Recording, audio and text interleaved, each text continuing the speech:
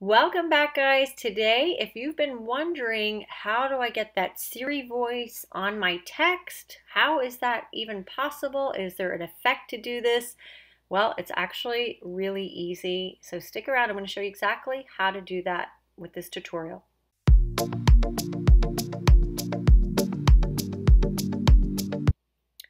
Right, guys, so here we are on my TikTok account. And uh, also, just a side note, I will be doing a future video coming up of how I received a thousand, over a thousand followers in just a few weeks.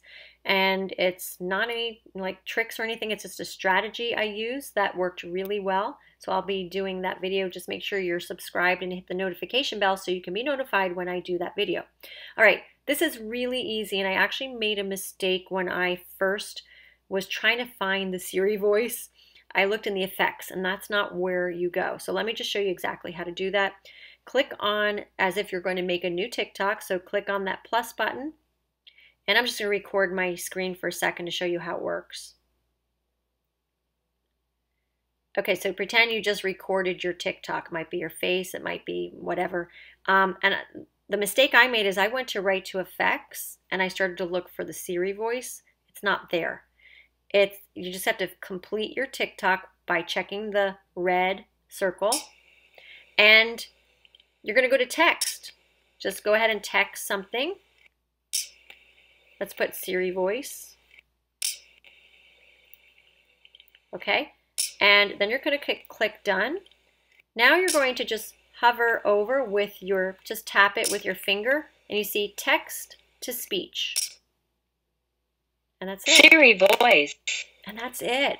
So now you Siri can, voice. you can move this around. If you want to Siri voice. if you want to um, Siri voice. delete it, just go ahead and push it Siri up to the delete button. We're not going to do that now. Siri. And click next. All right, so that is really how easy it is to get that Siri voice on your text. And um, for some of you, you may be like, well, I have a question about this. Just make sure you leave a comment in the comment section below. Let me know what you're struggling with, whether it's TikTok or anything else online. And I love to make YouTube videos to show you all how to succeed online. So let me know where your struggles are at, and I will definitely uh, you know, listen to what you have to say because you guys are my inspiration. All right, guys, so go get them on TikTok.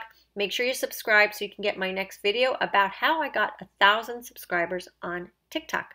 All right, take care.